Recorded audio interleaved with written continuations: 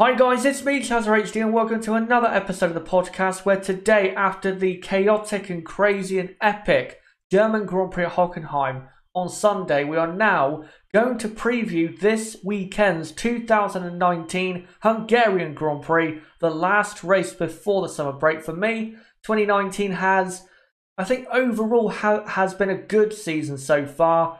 And I think in Hungary, we are probably not going to have too bad of a Grand Prix. Won't be as good as Hockenheim, of course, but I think we are in for definitely an interesting Grand Prix, especially when it comes to the fight for victory. So definitely look out for this Grand Prix this weekend. But of course, let's bring on my guest, as always, Niblo, to the podcast. And Nib, after that race on Sunday, I can guarantee that you're definitely looking forward to this race. Well, perhaps maybe not looking forward to Hungary as much because Hungary, of course, isn't renowned for its great races unless there is some wet weather, which I'm not entirely sure if there is going to be any wet weather around for the Hungarian Grand Prix. But uh, yeah, still, you have to be looking forward to having another F1 race. But quite frankly, I think I've I've had enough of F1 for a little bit. You know that the last three races taken a bit out of me. You know, especially the last Grand Prix, the, the German Grand Prix. Still can't get over how good of a race that was. And after that, there was too much action. There was too much for me. We need a break. But you know what? I'm sure by it come by Friday, I'll be raring and happy to have F1 back. Yeah, I think if the summer break, you know, has started now, it would have been a perfect send off. But of course, Hungary is uh, going to be on the calendar for this weekend's race. But I think that's the, the only reason, of course, the summer break doesn't start now is because they just about, thank God, saved Hockenheim from going off the calendar for 2019. So great job for keeping on the calendar and having the great race that we did. But now let's get into the team by team preview of what we think will happen this weekend at the Hungaroring. So let's start off with Mercedes, who had possibly their worst Grand Prix since they came into the sport in 2010. It was terrible. They were leading one and two, and then by the time they put dry tyres on for the first time and the rain started to fall again, everything fell apart. They couldn't do anything right, nor could the drivers and they finished ninth with Lewis Hamilton because the two Alfa Romeos got disqualified, and of course Valtteri Bottas crashed out of the Grand Prix. Disaster for them. But of course, because their car is still very, very good as it was during the Hockenheim weekend before uh, race day, I think Hungary, where the car is probably going to be performing better because I think the track will be better suited for that car. I think they will be definitely responding in a very strong way to how they performed on race day at Hockenheim. I don't think they'll get, you know, trounced by Red Bull or something like that, but I think they're definitely going to be very keen to respond. I know Lewis Hamilton is because he has cancelled, I believe, any media stuff uh, before the Hungarian Grand Prix because he is so keen to get Hockenheim out the system and respond in Hungary, and I think they will in a pretty big way. Nib, for this team, uh, well, they're going to respond at Hungary. We know that. Do you think it will be a big response, or do you still think that they're going to have, say, some competition from, say, Red Bull? Well, it's certainly going to be a bit of an easier weekend, I'd assume, for Mercedes at Hungary. You know, the track, of course, the first sector doesn't 100% 100% suit them because it's well what uh, two corners and two straights. So that will favor Ferrari in that part of the track, but then the rest of the track is mainly um, there's what there's one high speed corner, and then the rest of them are me- medium and slow speed corners.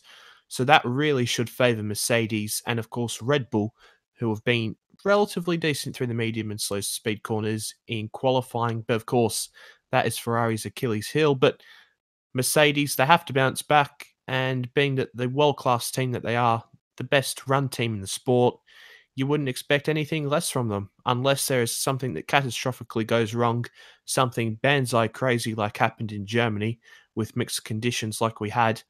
I don't see anything really going wrong for Mercedes. You know, it's it's rare that we speak about a bad weekend for Mercedes, and the last time that we've we've probably seen a bad weekend from Mercedes was when you know Rosberg was still in the team, and that was what 2016. It's been quite some time that Mercedes have had a have had a poor weekend. So, you know, before people say, "Oh, Mercedes, rah rah rah," you know, give Mercedes a break. That they've done pretty well, I think. You know, they haven't done too bad.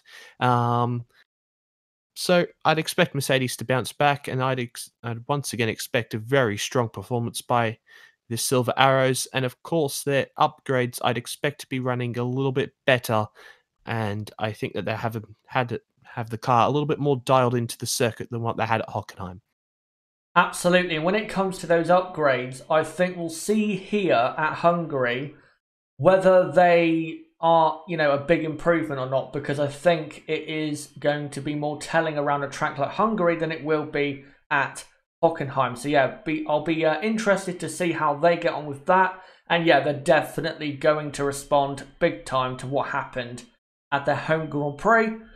Next up is Ferrari, of course, at Hockenheim uh, after probably the worst qualifying of their season so far. Even though Charles Leclerc ended up in a wall, they had a great race with Sebastian Vettel coming from last to P2. Great result for Ferrari. Hopefully, a good confidence boost for him and the team going into Hungary. And Ferrari also do have an upgrade for the Hungarian Grand Prix.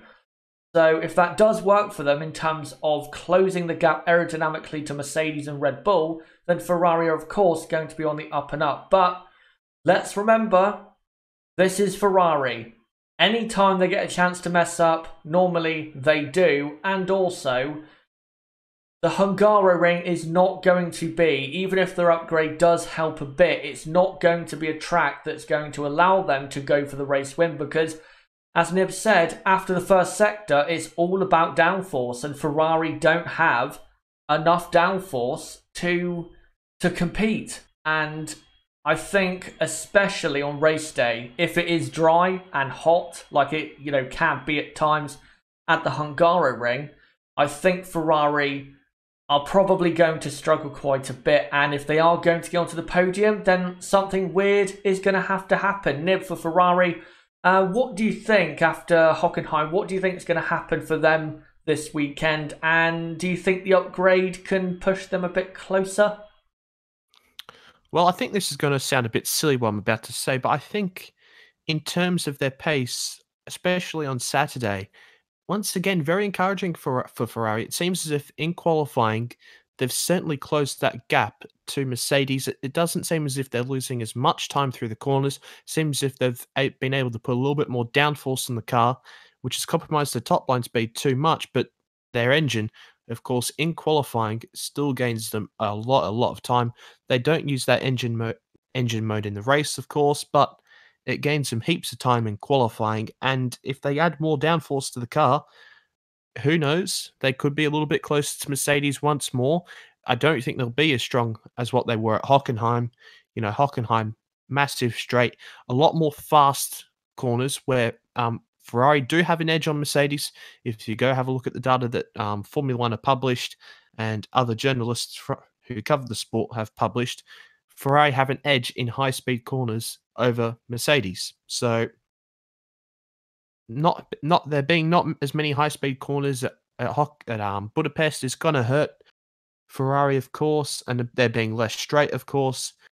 But of course, at Budapest, it's all about taking pole position. And if you take pole position, you're more than likely going to win the race because it's so hard to overtake um, at Budapest. Of course, most people will often refer to it, and you're sure you'll hear people refer to it during the weekend. It is Monaco without the barriers. And I think we'll see that to be true during the whole weekend. So, pole position will be very, very crucial for whoever takes it. And I don't particularly see Ferrari being able to take pole position um, in Budapest. But just going back onto their performance at Hockenheim, of course, fantastic drive by Sebastian Vettel from P20 on the grid to P2. Fantastic result. And he, he just seemed happy again, which was which was nice to see because it's been far too often that we're seeing a, a, a glum looking Sebastian Vettel, a not happy looking Sebastian Vettel. And hopefully this could potentially be the start of a turnaround of um of luck and and some fortune for Sebastian Vettel. Yes, hopefully it is because even though, of course, I've railed on the guy plenty of times in the last year for mistakes that he deserves to be criticised for, I do want to see Sebastian Vettel at his best. I absolutely do because Sebastian Vettel at his best with Max Verstappen and Lewis Hamilton up there is the best thing for Formula One, of course, with also Charles Leclerc. So hopefully, and I think Sebastian will carry that confidence through to Hungary because normally at Hungary, Sebastian is pretty good. He's always in that top three or four on the grid. So I think Sebastian is going to be pretty good this weekend and doing well for Ferrari, and hopefully he does. Now let's go on to Red Bull Racing, who of course won in Hockenheim, their first ever win at that track. And it was a great, great weekend, of course, getting second and fourth on the grid for qualifying and then winning the race on the Sunday. And Max Verstappen, you have to say at the moment, looks not perfect, but very, very, very strong in that car. That car is improving all the time, and Max Verstappen is right now maintaining a very, very high level of performance. Now, as we come to Hungary, where Red Bull for me are going to be, with Max Verstappen at least, very, very competitive. I think Red Bull are absolutely going to be racing for the victory. I have no doubt about that whatsoever.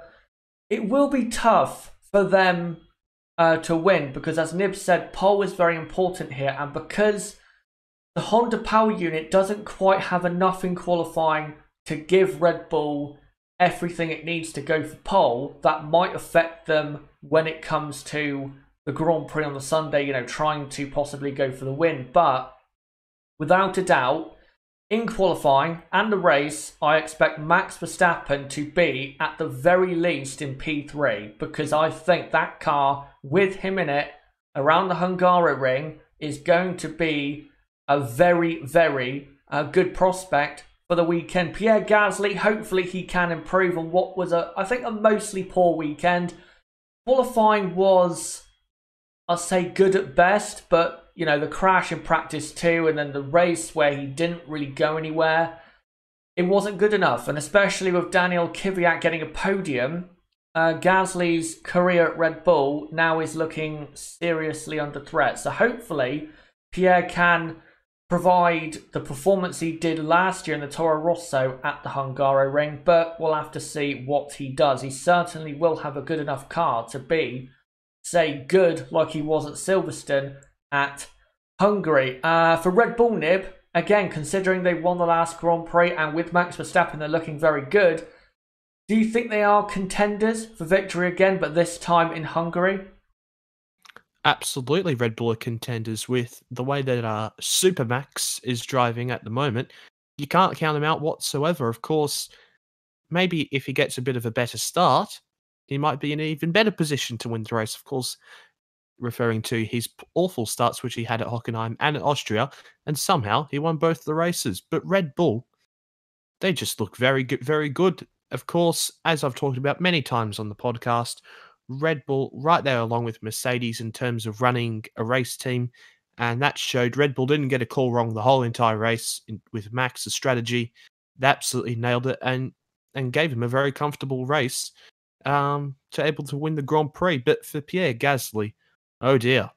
Oh dear, Pierre. He, after what was a very promising um, result at Silverstone, back to old Pierre Gasly at Hockenheim. It just wasn't good enough. He made too many mistakes in the wet, which of course is very easy to do. We've seen plenty of other drivers make mistakes, but if you're driving at Red Bull, you can't be making the amount of mistakes that he was making, especially in the early stages when it was wet. Um, he's nowhere near max again you know, it was he was looking solid. He was looking pretty decent in qualifying on Saturday, but just went downhill on Sunday. And of course, with Kvyat um, finishing third, and you know, Albon absolutely pulling off some banging overtakes on on Gasly on a couple of occasions. It's not looking good for Pierre Gasly in his future at Red Bull. Of course, if he can put in a strong performance once again at Hockenheim, there'll be two good performances in the last three races. So, for Pierre's sake, I'm sure he'll be hoping that he can go back to what he was doing at Silverstone. But for Red Bull and for their weekend at Budapest, you, I don't think you. Can, how can you rule out Red Bull at the moment? You, you just absolutely can't. They're so strong in the race. It's going to be pretty. It's re- relatively warm once again in Budapest. I think it's going to be about 26 on race day. Uh, there is rain predicted on Friday and then on the Monday. So who knows? The weather could be moving in a little bit quicker or a little bit later. So we could see some mixed conditions for Budapest once more, which would be fantastic because a wet race at Budapest is fantastic. We've seen that in a 2014 and also 2015 was it? I can't remember what other year, but one of one other year, of course, along with 2014, where Daniel Ricciardo won. I would like to mention that. Um, but Red Bull, yeah, I, how can you say that they couldn't win the Grand Prix? Max is driving so so well and such a high level at the moment. He's current, he's clearly at the moment the best driver on the grid. Um, you know, Hamilton, of course, is driving very well.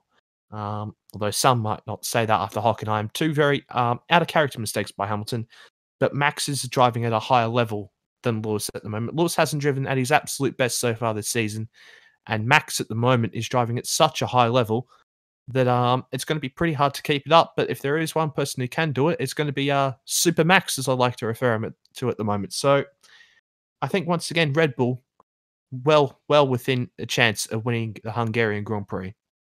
Absolutely, and I think what the great thing is uh, with Red Bull, they've gone back to how they were at the end of 2018, and that's what made the end of 2018 so exciting because Red Bull race day was so quick, and they'd always get in there for the race victory, even at races like Brazil, where you didn't think that was going to happen. So, at the moment with Max Verstappen, as and as Nib said, you can't really deny he Max Verstappen has been the best driver um, in 2019. He he really has because Lewis Hamilton this season has driven well, but Max Verstappen has basically been outperforming the car most times this season, if not every single time this season, and hasn't really made a mistake this season. He's been so so good, and his performance at Hockenheim was very, very good. I know he did make that small error on the medium compound tyres when it started to rain when he was on slick tyres, but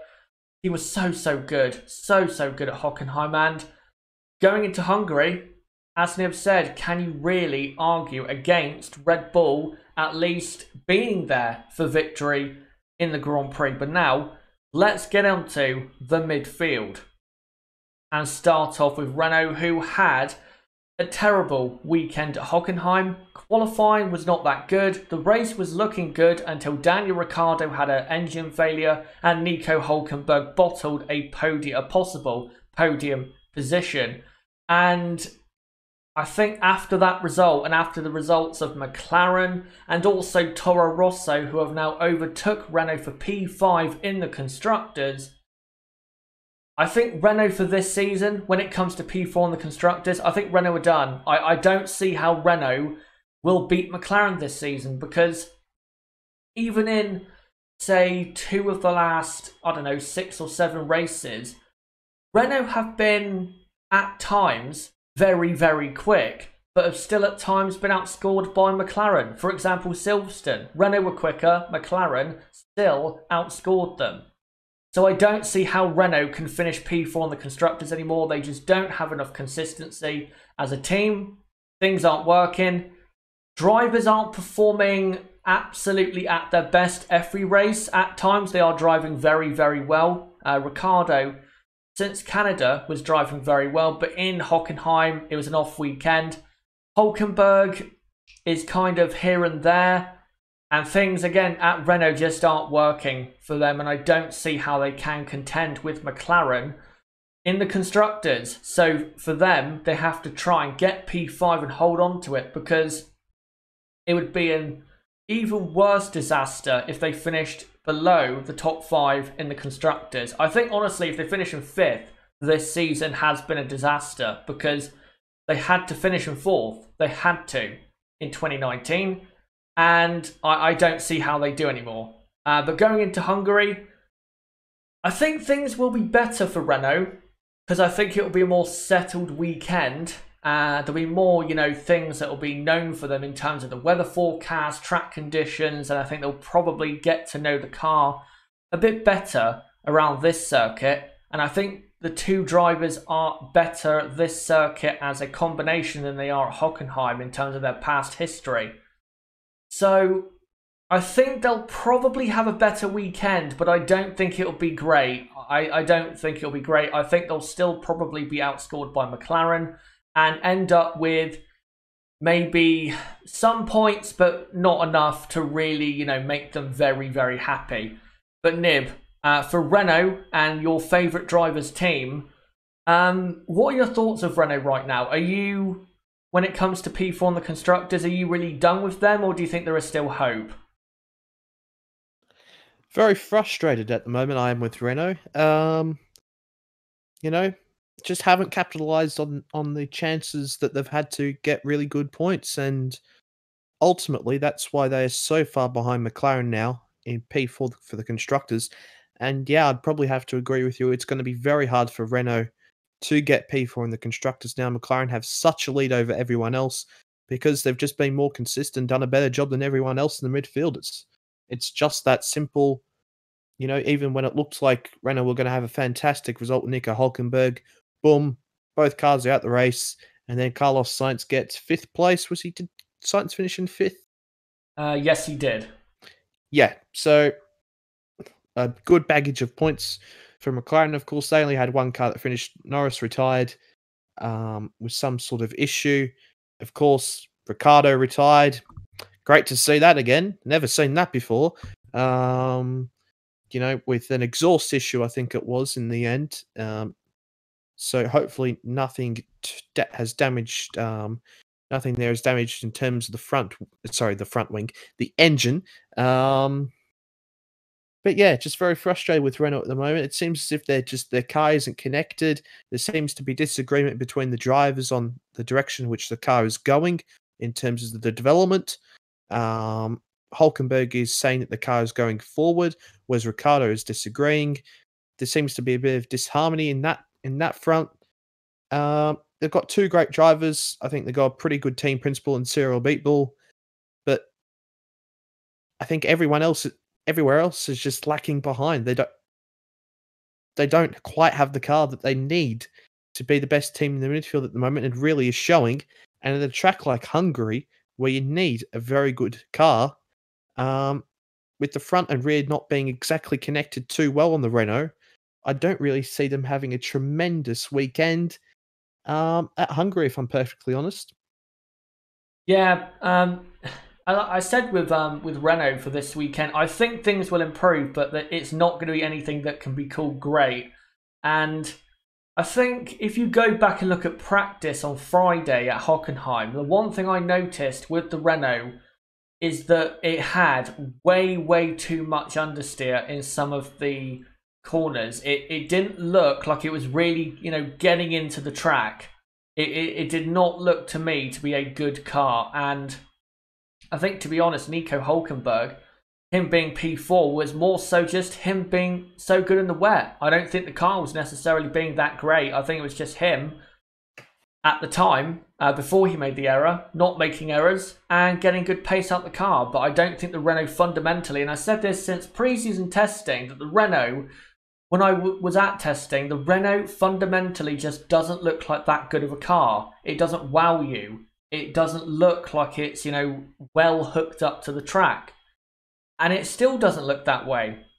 And it's been too many times this season where Renault, you know, at say a race like Canada or China or Silverstone, where they look great and you think if they can do that on a consistent basis, then they are absolutely in the right place for the rest of the season. But then they go and have a race like Hockenheim or uh, Austria way too many times that is happening. And yeah, in Hungary, I think they are still going to be probably behind this team, McLaren, who had a bit of a chaotic Grand Prix in Germany. Carlos Sainz, of course, finished in P5. I think Carlos Sainz, honestly, he drove so well and was a bit unlucky to finish in P5. I think he could have been on the podium, honestly, in his McLaren. Uh, Lando Norris, of course, had an issue. I think it was a gear sync issue uh, for Lando Norris in the Grand Prix.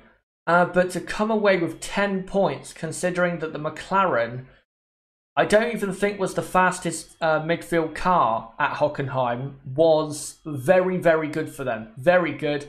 Because their main rivals are most likely going to be Renault. I know Toro Rosso got up to fifth, but that's only because they collected 23 points at Hockenheim because Kvyat finished in third and Albon finished in P6. So that was great for McLaren. And in Hungary, as long as they have a race like last year where Fernando Alonso finished in P8 and they outscore Renault, I think that's all that matters because I don't think the McLaren car is actually getting any better, to be honest. I don't think they're actually improving the car. I think that's most likely because they're already focusing on the 2020 car. And that is a great um, a show by McLaren to still be scoring great amount of points, even though they're not really improving the car. So in Hungary, as long as they score the most amount of points out of any of the midfield runners, I think that's all they can really do, even if the car's not that good during the weekend. Because you have to say, um, if they can do that going into the summer break, how can McLaren really be stopped from finishing in P4 on the constructors? I don't see how they are. Nib, uh, for McLaren, uh, do you echo what I've said there? And uh, in Hungary, do you think they are going to be, say, in and around the top 10? Uh, yeah, I very much echo your thoughts. McLaren, no matter what, you know, they haven't been bringing too many upgrades. I think they might be bringing a little bit uh, to Hungary. Um, we will cover that if that does happen, of course. But yeah, McLaren, they, they just keep getting the points on the board. Carlos Sainz had a fantastic weekend, fantastic qualifying. Of course, when his teammate did not have such a great weekend, Lando nearly crashed on the way to the to the grid. Uh, he's made that quite public after the race, saying he nearly uh, crapped himself, which which wouldn't have been uh, which not would which uh, wouldn't have been good because he did the same thing that um, Leclerc, Hamilton all did, Hulkenberg all did he went out to that part of the track and nearly went in the wall. So lucky, lucky Lando. Um, but yeah, of course, Lando retired from the race. Carlos got P5. Just once again, another solid um, result for McLaren in what looks like not to be their greatest weekend. They didn't have that, they weren't that great in terms of their pace. But I think at Hungary, they do have one of the one of the better working cars in the midfield. So I'd expect them to be certainly at the front of the midfield again. How can you not say that? They quite simply are the best team in the midfield at the moment. And I think at um, Budapest, it's going to be another very strong weekend for McLaren, and I expect both drivers um, to be certainly scoring some points. Absolutely, and also great news if you're a Carlos Sainz and McLaren fan. Carlos Sainz normally is very good at the Hungaroring. If you look at his record, he's always in the top 10 whether it's qualifying or the race. So I expect Carlos Sainz to put in another great performance. And again, this guy on screen, he deserves a lot of credit. And uh, I'm, yeah, I've been giving him a lot of credit this season, and he absolutely does deserve it. But now, let's move on to Alfa Romeo, who finished P7 and P8 before they got uh, a 30 second time penalty for illegal, I think um, some kind of illegal torque system for the start of the Grand Prix. And if you look at Kimi Raikkonen's start, I think you can pretty much, you know, see that, yeah, that definitely did help them. There's some kind of driver aid on the torque of their car that allowed them to have great starts. So, of course, they had to get that penalty, and, you know, that's just the way it is. But it did actually overshadow what was a great weekend for Alfa because Kimi Raikkonen qualified in fifth, Raikkonen was in the top 10 for basically the entire Grand Prix and got a good finish in P7, even though it could have been better. Also, Antonio Giovinazzi, I thought, was very good on race day as well and deserves a lot of credit for his performance. But for Alfa, coming into Hungary, I think they're actually going to do better than I thought they would, say, a few weeks ago at this type of track. Because this team, you cannot doubt, is on a roll. They every weekend since Paul Ricard, they have always been in that top 10, whether it's Raikkonen or Giovinazzi, and I think they'll do it again. I think Kimi Raikkonen is most likely going to be in the top 10 because look at his record at the Hungaroring. also. He has, when he was in a top car and was able to get podiums, he was basically on the podium at every Hungarian Grand Prix for a very long time. So I think Kimi Raikkonen will be one of the front runners in the midfield. Hopefully, Antonio can get in there and maybe get into the top 10, say for qualifying or the race. But I think Alfa will continue their good form. I know their car is probably better suited to a power track than a high aero track, but I think because of their great form, because they definitely have improved the downforce of the car, because everyone at Alfa is performing so well, I think they will continue it into Hungary. Despite the penalty nib, uh, do you think Alfa will continue their great form at the uh, Hungaroring? Yeah, I, I, think it's I think it's pretty nailed on. That that Alfa will have a pretty once again a pretty solid weekend at the Hungaroring. You know they've been they've been very good the last couple of races. Have Alfa Romeo, of course, um, with the reason why they got a 30 second time penalty was something to do um, with the clutch system not equaling the amount of torque that it needed to be within the engine within a certain time. Um, I watched an Autosport video just before we started recording this podcast, uh, explaining it. So you might want to go check that out. Basically, it's a traction control um, regulation thing. So okay, they just um, so yeah, first time we've heard that a bit, a long time. Remember the last time I've heard about traction control was when everyone accused Red Bull of running it in Singapore. Yeah. Um, on on Vettel's car. um, so it's been quite some time since we heard about uh, traction control. So quite interesting there. So you, you might want to go and check that out if you if you guys are interested.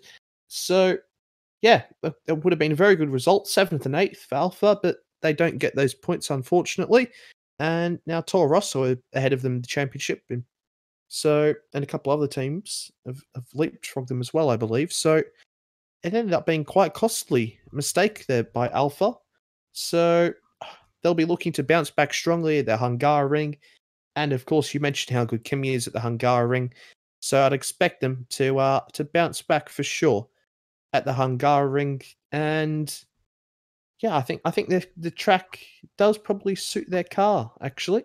You know, the middle sector and the last, maybe not the last sector, the middle sector, nice flowing part of the track. I think the Alfa will be pretty good through that part of the section, through that part of the track, but maybe not in the maybe not so much in the third sector. And of course, the first sector, having the Ferrari engine qualifying is going to help massively.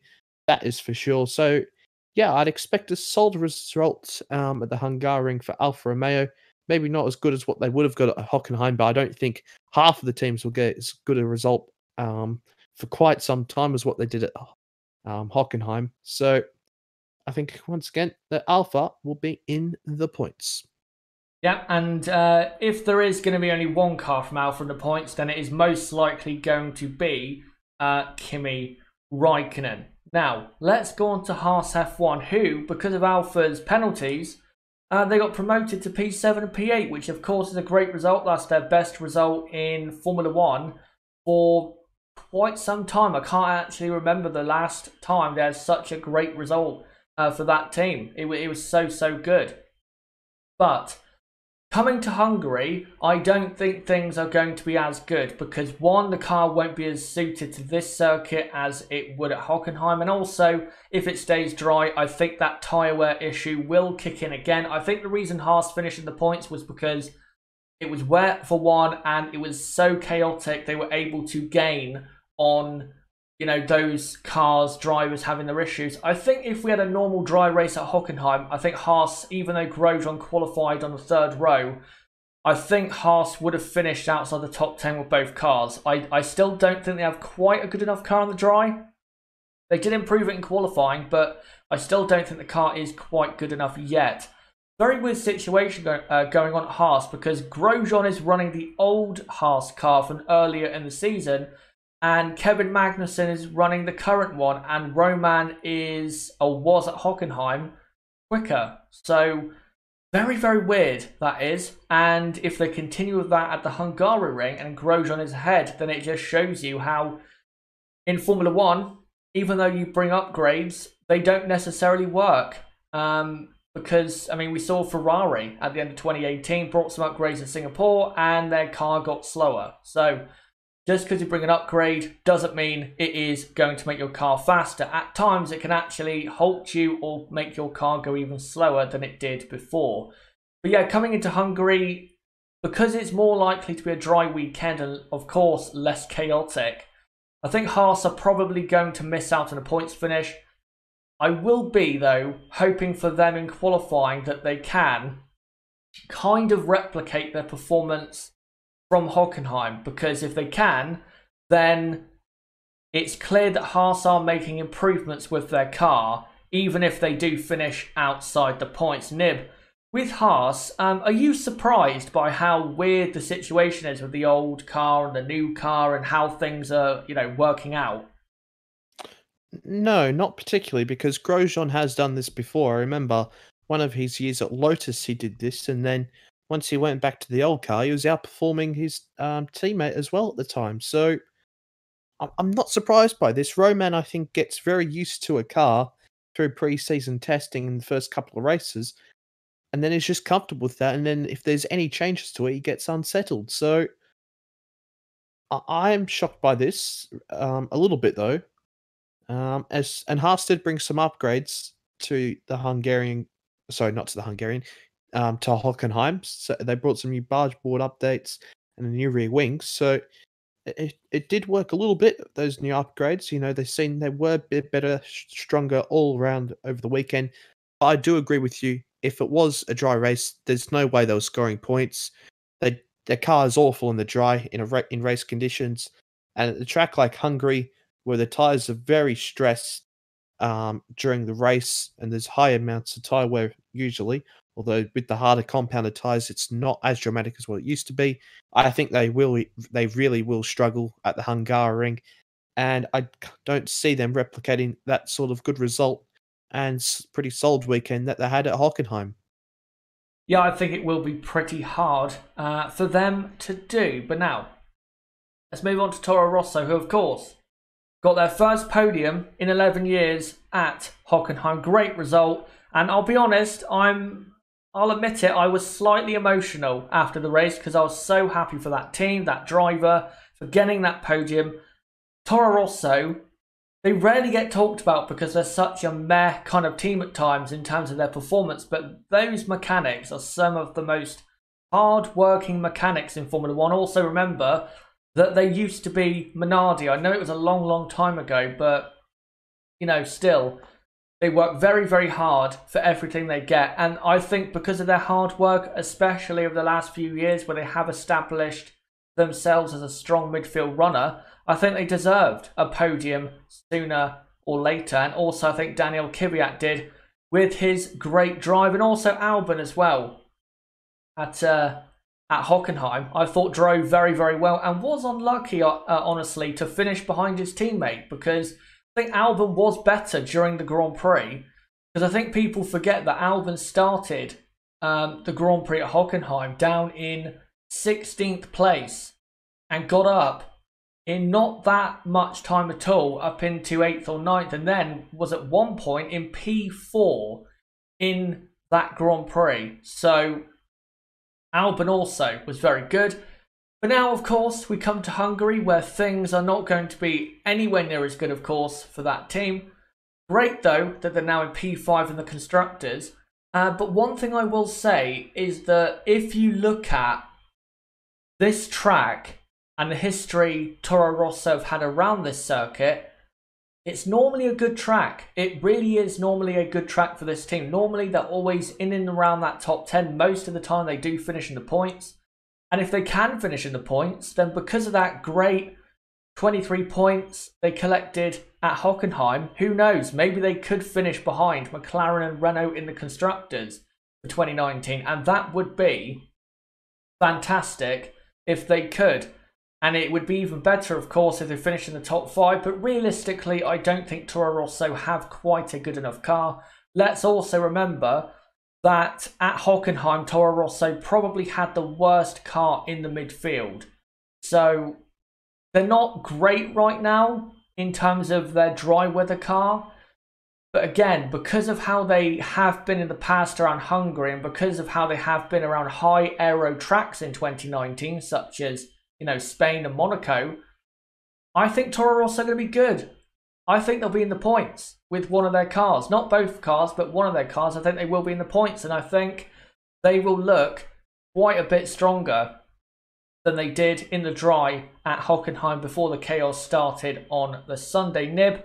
Uh, how happy for Toro Rosso and Daniel Kvyat were you after the race? And yeah, for Hungary, do you think they can score points again? Okay, well, I, I don't think I was quite as uh, happy as you for for Toro Rosso. You know, well done, good on you. But you know, I don't have a, an emotional attachment to uh for Toro Rosso for some unbeknownst reason. But very happy for Danny Kvyat. I remember at Singapore, um, in the year that he got dropped from Toro Rosso, was it twenty yeah twenty seventeen, and then Hartley replaced him the next race. He he just looked absolutely done as a racing driver. Was deprived of confidence, and it, it was a real shame to see because Danny Kvyat, you know, he'd got he got two podiums before, both in the Red Bull at Hungary, um, and at uh, what other track, and at China, of course, where of course he was famously called Torpedo by Sebastian Vettel. But Danny Kvyat was a, was a good driver. As much as much as I don't like to admit this, you know, he he beat Ricciardo in the championship um, at the year that they were teammates at Red Bull. Of course, Ricciardo did have more reliability issues and stuff like that. But that doesn't excuse the fact that Kvyat did score more points than Ricciardo that season. So Kvyat has always been a solid driver, quick driver, that's for sure. Just made too many mis. Well, he didn't even make too many mistakes. He made one mistake, and Red Bull found any little excuse that they could use to get Max Verstappen in the car. And well, I don't blame them because, you know, look just look how good Max Verstappen is. He's certainly better than Danny Kvyat, but the way he was treated was was very wrong at, uh, by Red Bull, and it's great to see him back in the sport and doing well. Danny Kvyat has been has been very good so far this season. He's gone under the radar, and he just thoroughly deserved that P3. Great to see the Russian smiling again. Great to see him happy, and great to see him back in love with motorsport once more. I'm very happy for Danny Kvyat, and um, now moving on to their to their weekend now, which I think they're going to have pretty solid weekend at the Hungaroring. I, I do see them being one of the stronger teams in the midfield. If I'm per- if I'm perfectly honest, I think that probably one of them will get into Q3, and then one of them will finish in the points. I don't I don't know which driver because both of them have been driving very well so far this season. So I think it's going to be a very good weekend for Toro Rosso. I think, of course, they're not going to replicate it what they just did at Hockenheim with a with a podium. Of course, that's not going to happen. But hmm. I, I think that they're going to have another promising and, and strong weekend at Budapest. Yeah, I think they will. I think Toro Rosso will have definitely a very, very good weekend. Let me just clear my throat. But now let's move on to the final midfield team, uh, Racing Point. Now, Racing Point also had a very good weekend in Hockenheim because their new updates came. Not all of them. Uh, another load of them are going to be coming at the Hungarian Grand Prix this weekend. But uh, yeah, load of new updates at Hockenheim. And it did work for them because Stroll finally got out of Q1 and Perez finished in P8 in qualifying. So in the dry, Racing Point do have probably half a second more than they had before Hockenheim. And in the wet, even though Perez, you know, made his mistake and crashed, he was looking good up until then. And Stroll, I think, was actually a lot better in the race than it was, you know, showing. Because, and as Stroll said this uh, after the race, and it is true, because if you look at the race as it went on, Stroll was a lot of the time on the wrong tyre at the wrong time. And the only time he was on the right tyre was when he went on to slicks at the end and briefly was in the lead of the Grand Prix for the first time in his entire career.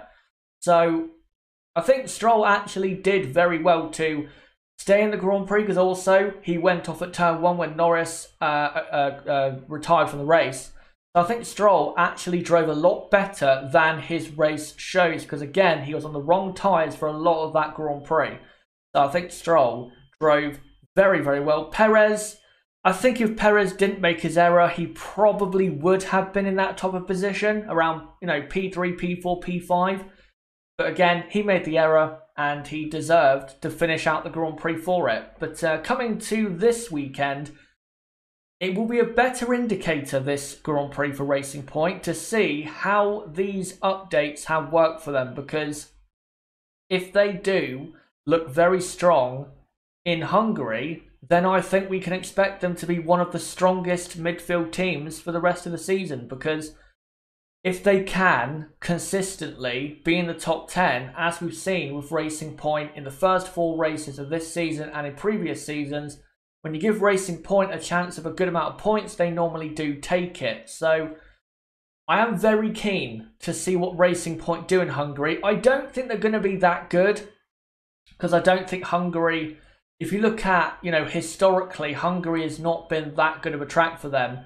But also, I don't think a high aerodynamic grip track is exactly what their current car is suited to. So I don't think Racing Point are going to be as good in the dry as they were at Hockenheim. But you never know what could happen. They could be better than I'm saying, or you know, rain could happen in qualifying and propel them up the grid. Who knows what could happen in Hungary? But uh, for Racing Point, Nib, are you keen to see uh, how those updates do for this team in Hungary? Yeah, of course. They brought um, some upgrades to the German Grand Prix. Of course, not all of them, as you mentioned just before. And finally, finally, after I've been bagging on about it for quite some time now, Lance Stroll finally got to Q2. Round of applause for Lance. Well done, lad. But now moving on. Um, of course, it was in the lead the Grand Prix. Fantastic strategy called by Racing Point. Nearly got them a podium got them such a great result. P4 for Racing Point. I don't think many of us expected that. And Lance Stroll, once again, I've said this before, of course, he wasn't doing that great in the wet, but he is a good wet weather driver. That is for sure. Um, and then he did very well to keep behind Valtteri Bottas for as long as he did. He, he did very well to keep Bottas behind, frustrated Bottas so much that he forced Bottas. Well, Bottas also did was very much at fault for his mistake but he frustrated Bottas. Bottas made the mistake. And yeah, well done to Lance Stroll. Of course, Sergio Perez went spinning around into the wall uh, just at the start of the. Sorry, just at the end of the second sector, that right hander. Um, I think, geez, I can barely remember that. I don't know how I remembered that. I can barely remember that that happened. So that was disappointing for Sergio, who was in a good position at that stage of the race. I do remember. But yeah, it's step certainly a step in the right direction for Racing Point at the German Grand Prix. And with their upgrades, of course, the second part of their base spec car, and of course, we've seen many times in the past their base spec car at Hungary usually delivers. So who knows? Racing Point, I think, could could have a bit of a uh, surprise, very strong weekend at the Hungaroring. Of course, we don't know yet because that we have not seen these upgrades. Um, so I think certainly the team to watch for this upcoming weekend is certainly Racing Point, and I think if those upgrades do work, they could have a uh, a very strong result, and maybe, just maybe, Lance Stroll can make into Q2 once again. Well, let's hope for that. And I will say, uh, Lance did well for sure to get into Q2.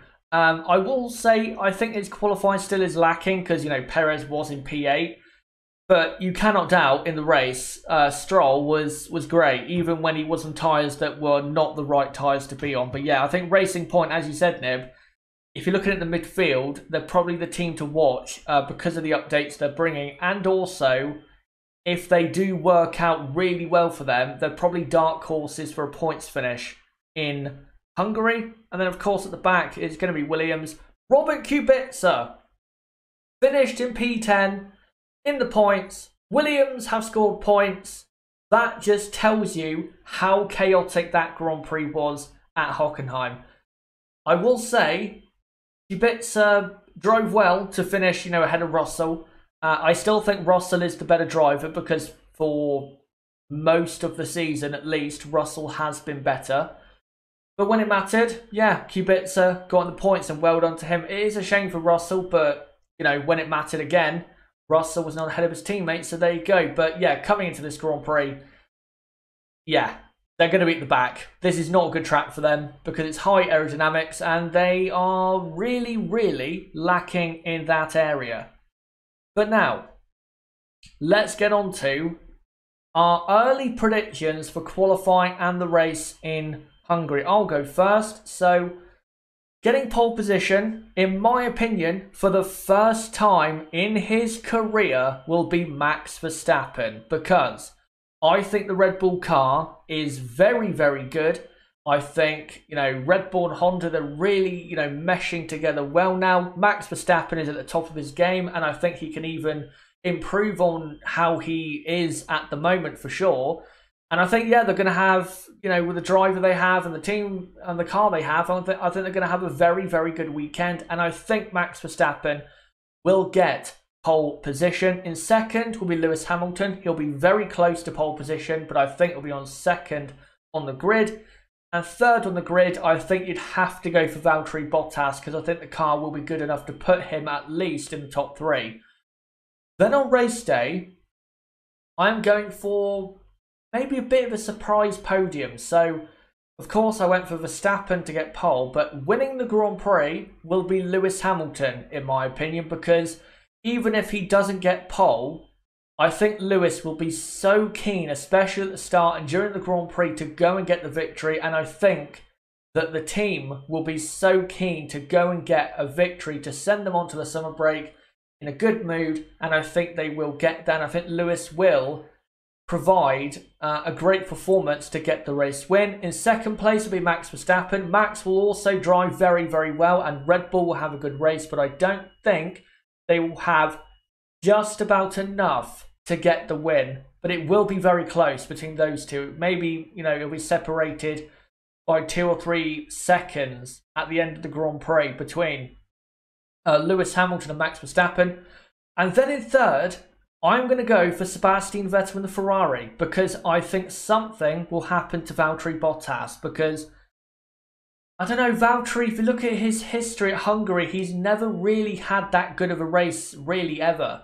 He finished in third in 2017, but again, it wasn't that good of a race um, for him. And I, I just think something will go wrong for Valtteri. And I think Sebastian, because he is definitely going to be more confident coming into this Grand Prix than he would be if this Grand Prix was following Silverstone. I think Vettel will get a surprise podium, whether that's because Valtteri has a poor start or has a reliability issue or gets took out. I don't know. But Vettel will finish for me in P3. So for the race, that's Hamilton, Verstappen, Vettel on the podium. Nib, for qualifying and the race, uh, what are you going for? Well, I'm going for for, for the usual boring uh, predictions. I, I think it must be said, but I think this is just what's going to happen. No more silly predictions like I've been doing the last couple of races. I think taking pole will be Lewis Hamilton. Second's going to be Max Verstappen. Probably third, uh, going to go for Charles Leclerc. Going to go for Charles Leclerc in third. Um, then winning the race, I think it's going to be Lewis Hamilton. I just think he's going to bounce back in the way that the uh, the five-time world champion that he is will do.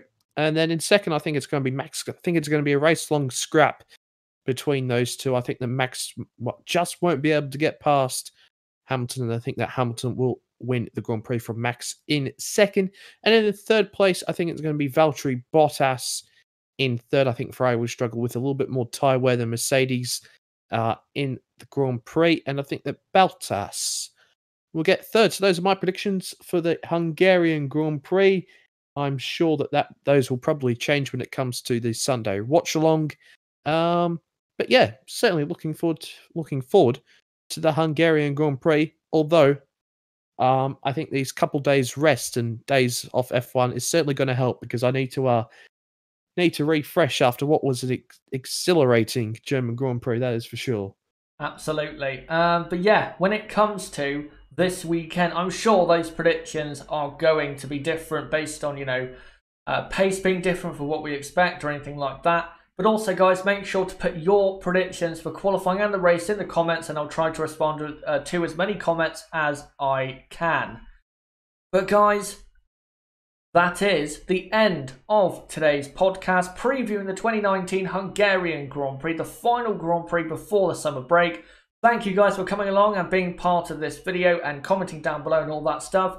And again, uh, don't forget to subscribe uh, for more content like this as we do plenty of podcast episodes basically once a week on the channel. So don't forget to subscribe for that.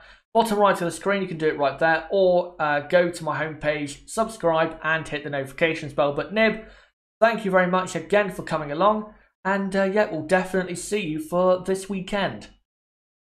Of course, mate. Great to be on the podcast as well. And of course, I'll see you guys all for the Sunday race watch along. Absolutely. But yeah, guys, that is what's coming up this weekend on the channel. We're going to have uh, Friday, the practice 2 watch along from 1:30 p.m. UK time till 3:30 p.m. UK time, or just after that. Then 1 p.m. on U- uh, 1 p.m. UK time on Saturday will be the qualifying watch along until about 3:30. And then race day, of course, 10 past 1 pm UK time till about 4 o'clock pm UK time will be the race watch along.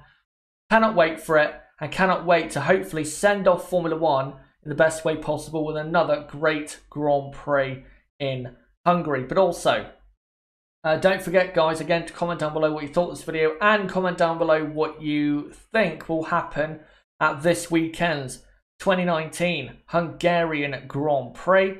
And also, don't forget to join the Discord server, link below in the description.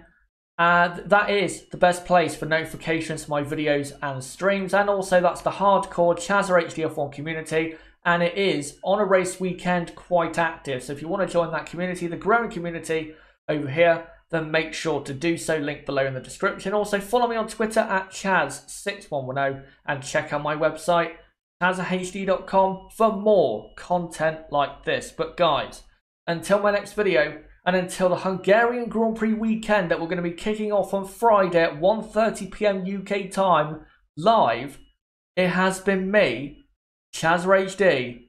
Goodbye.